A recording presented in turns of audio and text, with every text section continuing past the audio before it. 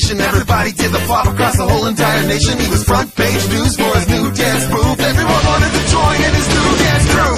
Then one day things started going wrong when a flop concert was interrupted by a bomb. Said please stop, but no matter what he tried.